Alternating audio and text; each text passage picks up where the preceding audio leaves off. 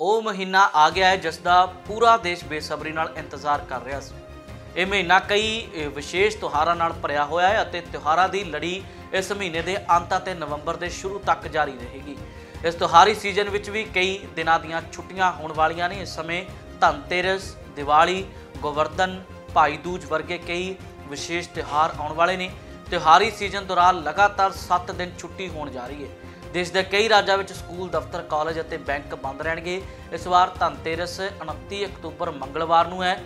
ਇਸ ਮੌਕੇ ਉੱਤਰ ਪ੍ਰਦੇਸ਼, ਦਿੱਲੀ, ਪੰਜਾਬ ਅਤੇ ਹਰਿਆਣਾ ਸਮੇਤ ਕੁਝ ਹੋਰ ਰਾਜਾਂ ਵਿੱਚ ਸਕੂਲ, ਕਾਲਜ, ਦਫ਼ਤਰ ਅਤੇ ਬੈਂਕ ਬੰਦ ਰਹਿਣਗੇ। ਇਸ ਦਿਨ ਤੋਂ ਕੁਝ ਰਾਜਾਂ ਵਿੱਚ ਸਕੂਲ ਅਤੇ ਕਾਲਜ ਬ- ਬੈਂਕ ਬੰਦ ਰਹਿਣਗੇ। ਚਤੁਰਦਸ਼ੀ ਜਾਂ ਛੋਟੀ ਦੀਵਾਲੀ 30 ਅਕਤੂਬਰ 2024 ਨੂੰ ਮਨਾਈ ਜਾਵੇਗੀ। ਇਸ ਮੌਕੇ ਦੇਸ਼ ਦੇ ਕਈ ਰਾਜਾਂ ਵਿੱਚ ਜਨਤਕ ਛੁੱਟੀ ਰਹੇਗੀ। 94 ਰਾਜਾਂ ਵਿੱਚ ਸਕੂਲ ਅਤੇ ਕਾਲਜ ਬੰਦ ਰਹਿਣਗੇ।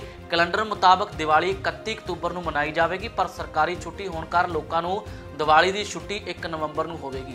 ਇਸ ਲਈ ਦੇਸ਼ ਦੇ ਕੁਝ ਰਾਜਾਂ ਵਿੱਚ 31 ਅਕਤੂਬਰ ਅਤੇ ਕੁਝ ਰਾਜਾਂ ਵਿੱਚ 1 ਨਵੰਬਰ ਨੂੰ ਛੁੱਟੀ ਰਹੇਗੀ। ਇਸ ਦੌਰਾਨ ਵੱਖ-ਵੱਖ ਥਾਵਾਂ ਤੇ ਸਕੂਲ, ਬੈਂਕ, ਕਾਲਜ ਅਤੇ ਦਫ਼ਤਰ ਬੰਦ ਰਹਿਣਗੇ।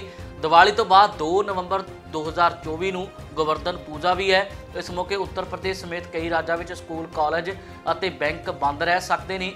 ਇਸ ਦੇ ਨਾਲ ਹੀ ਉਹਨਾਂ ਸਾਰੇ ਦਫ਼ਤਰਾਂ ਵਿੱਚ ਛੁੱਟੀ ਰਹੇਗੀ, ਜਿੱਥੇ ਸ਼ਨੀਵਾਰ ਦੀ ਛੁੱਟੀ ਹੈ।